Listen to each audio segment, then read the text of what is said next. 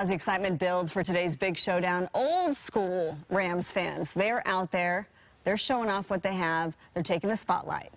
Yes, our Laura Diaz found a fan with his own shrine in a barbershop. So it is amazing. What do you call the cut? Oh, oh, this right here, it's like a zero fade. At the Golden Ram Barbershop in Westminster, in between buzz cuts, defending Super Bowl champions. The buzz is all about the LA Rams football team. Going to be amazing, huh? Time for the Rams are only one game away, one victory away from Super Bowl. Super Bowl 56, you know. Barbershop owner Sal Martinez is a lifelong Rams fan, and so are most of his customers. He grew up in Orange County. His love affair with the Rams football team started when they played in Anaheim. But even when the LA team moved to St. Louis, Martinez remained loyal.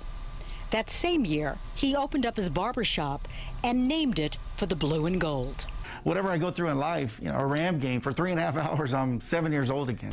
Everywhere you look inside of the shop, it's Rams football. From t-shirts to photos with players and coaches and walls of memorabilia. He's been photographed with some of the greats like Coach Vermeil. But his favorite picture is the one with his daughter wearing a football helmet. She wasn't even one yet. She's 30 now. I didn't pick the Rams, the Rams picked me.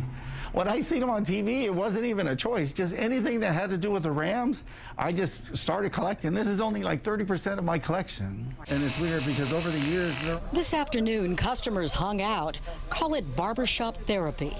They think this is the year the LA Rams go all the way. I just think that it's, you know, it's the Rams' year.